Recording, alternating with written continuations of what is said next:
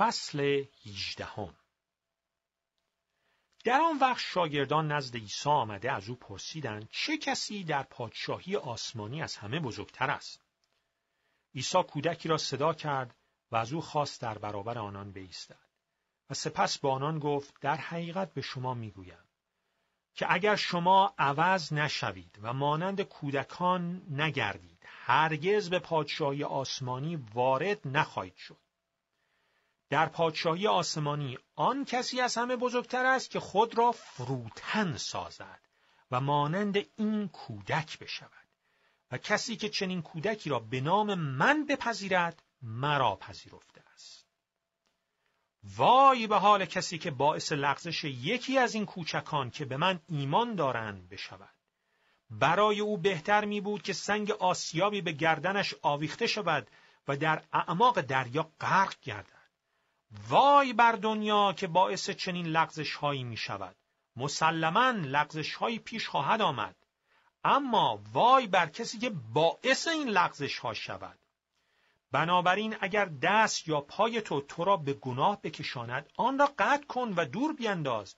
زیرا برای تو بهتر است که بدون دست یا پا وارد حیات گردی تا با دو دست و دو پا به داخل آتش ابدی افکنده شوی. و اگر چشم تو تو را به گناه میکشاند آن را درآور و دور بینداز زیرا بهتر است که با یک چشم وارد حیات شوی تا با دو چشم به آتش دوزخ افکنده شوی. هرگز این کوچکان را حقیر نشمارید. بدانید که آنان در عالم بالا فرشتگانی دارند که پیوسته در پیشگاه پدر آسمانی من حاضر هستند. زیرا پسر انسان آمده است تا گم شده را نجات بخشد. عقیده شما چیست؟ اگر مردی صد گوسفند داشته باشد و یکی از آنها گم شود آیا او 99 گوسفند دیگر را در کوهسار رها نمی کند و به جستجوی گوسفند گم شده نمی رود؟ و هرگاه آن را پیدا کند برای آن یک گوسفند بیشتر شاد می شود تا برای آن 99 گوسفند دیگر که گم نشدهاند به همین طور پدر آسمانی شما نمی‌خواهد که حتی یکی از این کوچکان از دست برود. اگر برادرت به تو بدی کند برو و با او در تنهایی درباره آن موضوع صحبت کن. اگر به سخن تو گوش دهد برادر خود را باز یافته ای و اگر به سخن تو گوش ندهد یک یا دو نفر دیگر را با خود ببر تا از زبان دو یا سه شاهد این موضوع تایید شود. اگر حاضر نیست سخنان آنان را بشنود موضوع را به اطلاع کلیسا برسان و اگر حاضر نشود به کلیسا گوش دهد با او مثل یک بیگانه یا باجگیر رفتار کن. بدانید که هرچه شما در زمین حرام کنید در آسمان حرام خواهد شد. و هرچه را بر روی زمین حلال نمایید در آسمان حلال خواهد شد. و نیز بدانید که هرگاه دو نفر از شما در روی زمین درباره آنچه که از خدا می‌خواهند یک دل باشند پدر آسمانی من آن را به ایشان خواهد بخشید.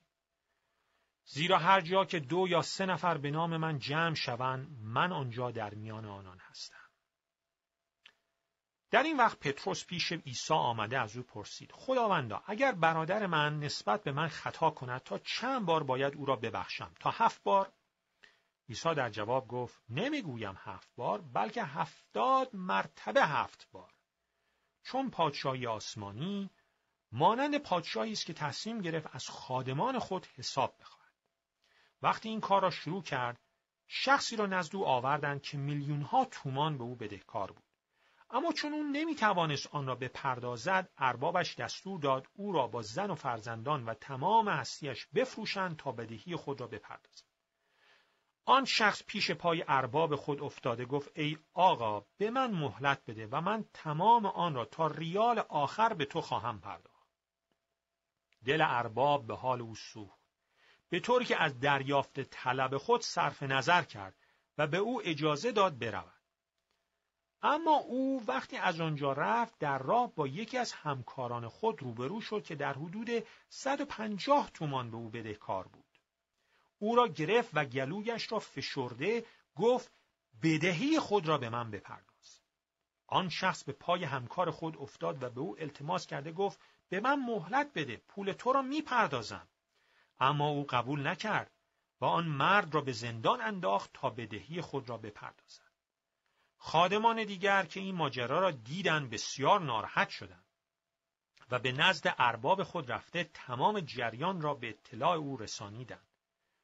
او آن مرد را احضار کرده به او گفت ای غلام شریر به خاطر خواهشی که از من کردی من همه بدهی تو را به تو بخشیدم آیا نمی باید همینطور که من دلم برای تو سوخت تو هم به همکار خود ترحم می کردی؟